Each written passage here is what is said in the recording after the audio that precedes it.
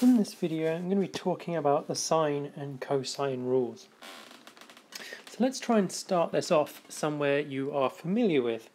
So at GCSE you'll have looked at the Pythagoras theorem and how you can use it to calculate the unknown side of a triangle and you'll come across the formula a squared plus b squared equals c squared as long as c is the longest side of the right angle triangle. Now this is all very well and good but the majority of triangles are not right angled, so this becomes pretty pointless up to a certain point. I mean, we can form right angled triangles out of other triangles, which can be quite useful, but what we need is another way to deal with triangles which are not so nice, and that's where the sine and the cosine rules come in. Now, so we've got a triangle here, it's not right angled. I know it looks a bit like it if we uh, look up here, it looks kind of like it's 90 degrees, but let's just say it's not. So we've just got this random triangle, we've got three sides, A, B and C, and three angles, capitals A, B and C. We have two options here if we want to calculate unknown sides. We can resolve them into perpendicular components, so find out the component of C in this direction, the component of A in this direction, add them together, that should give you B. And I look at how you do that in another video, which you should check out. But the other way you can do it is use cosine and sine rules, and they tend to get you to a solution quicker, which is why I'm taking the time to explain them. So let's look at that. Now what the cosine rule says is that a squared equals b squared plus c squared minus 2bc cos a. And there's a couple of key things you need to know. This angle capital A must be opposite this side A, and likewise the capital C is opposite C, capital B is opposite B, and it must be configured that way, otherwise it won't work. And so this is the most simple form of this. I could have rearranged the A, B's and C's, it would make absolutely no difference. Now if you're interested where this is derived from, I'm going to look at that at the end of the video, I'll show you where this formula comes from. But this is the key thing you need to know, this is the formula you're going to need to use. Likewise, the sine rule says sine A over A is equal to sine B over B equals sine C over C. Again, if you're interested, I'll show you at the end of the video where this rule comes from, but this is essential, and again, remembering your A's must be opposite each other, C's opposite, and C's and B's opposite again, otherwise this won't work. So let's have a look at these being put into use with a question. Okay, so we've got a triangle here, and just to be annoying they've been labelled differently so they haven't been labelled A, B, C and all that nicely. And what you want to do is calculate C. So first of all let's do some labelling so you know what I'm talking about. Now from now on I'm going to refer to this side as A, I'm going to refer to this side as B, I'm going to refer to this side as C. I'm sure you can see that this is going to be useful for the looking at the formula. So that makes this angle in here C, this angle in here B, well that's 40 degrees, and therefore this must be A.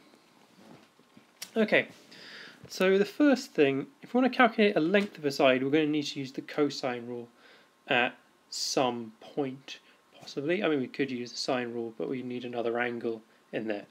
But let's use the both of them. So I'm going to show you a way of doing this. It uses both the sine and the cosine rule so you can see them at work. It's not necessarily the fastest way to the solution, but it's a good demonstration. So first of all, we know that sine C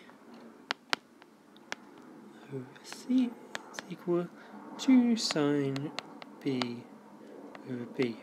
That's just the sine rule. So if we have a look in this question, we know what C is, which we know this. We know what B is, and we know what capital B is, and we know what little b is. So we've got all the ingredients we need. So we know that sine C is equal to C sine B over B. So that's going to be 7 times by sine 40 and that's all going to be over 12. And that will lead you, once you've taken the inverse sine of that, to this calculation, and you get the angle C is 22.0 two, one, eight, one, la la la la degrees. Okay, so we've got this angle, but what we really want is the angle between the two sides B and C. So we want A. So how can we do that? Well, there's a nice simple rule, is that all angles of a triangle must add up to 180. So therefore, to get A, we just simply need to do 180, subtract the 40, and subtract this angle we've just calculated, la la and we end up with A being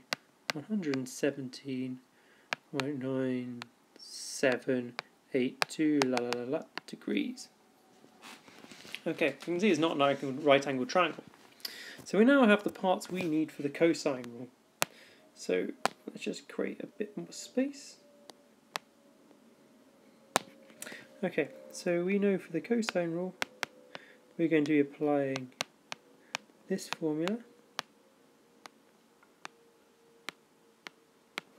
Uh, we know B, we labelled earlier as 12. Know C, 7. And we know minus 2 times 12 times 7 times by the cosine of 1, 7, yada, yada, yada, yada. And we do all that and then square root it. So if we want to do find out what a is, we would need the square root of all of that. And this comes out at 15.24491. And now we look at the lengths in the question, they were all given to the nearest centimetre, so we'll follow that convention and stick with 15 centimetres.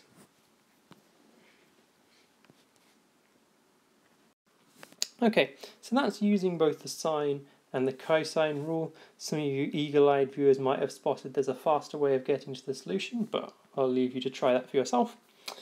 What I'm going to show you first is a worked solution like this.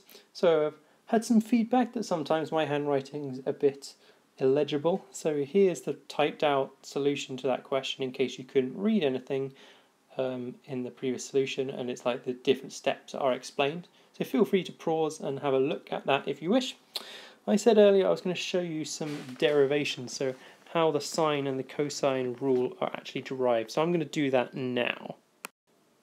Okay, so first of all, let's have a go at the cosine rule.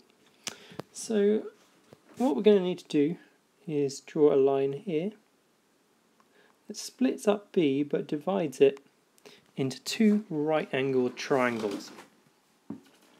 Okay, so what we're essentially aiming to do here is I want to find out what A is. And because we've got a right angle triangle, we can express it in terms of two other lengths. So I'm going to call this one here D and this one here E. So we know from Pythagoras, A squared is D squared plus E squared. And what we need is to try and put D and E in terms of C and B, and we're going to have a cosine of A in there as well. So first of all, what's D? Well, we can calculate it using resolving, which you might need to look at if you don't understand this, but anyway, what we can see is because it's a right angle triangle, D is equal to C sine A because essentially what we're doing is the cosine of this angle, which is the same as doing the sine of this angle. We can also see that E is B minus, and this is the other part, so we need to find this side here, which is going to be C cos A. So what we've got now is that a squared is equal to c squared sine squared a, because that's your d, plus b minus c cos a all squared. So what we're going to need to do is expand this out.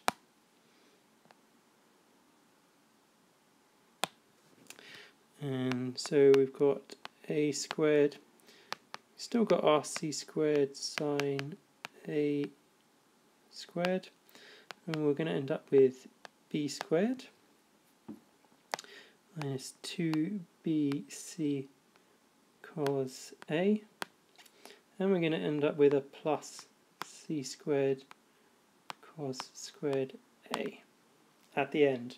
Uh, you might need to work through that step yourself to convince you that that's the case, but that is what we're going to get. And we'll notice we've got two terms with c squared, so I'm going to